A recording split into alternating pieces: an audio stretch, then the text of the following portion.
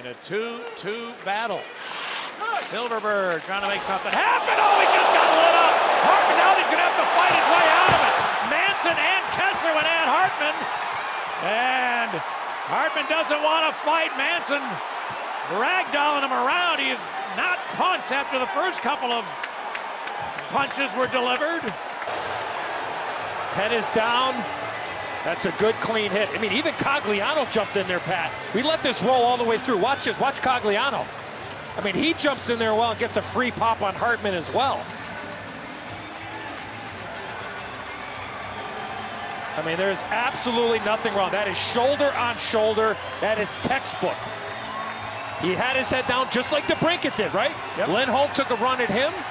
Wasn't as violent, but Josh Manson lost it, and the Hawks should get a long-winded power play without question.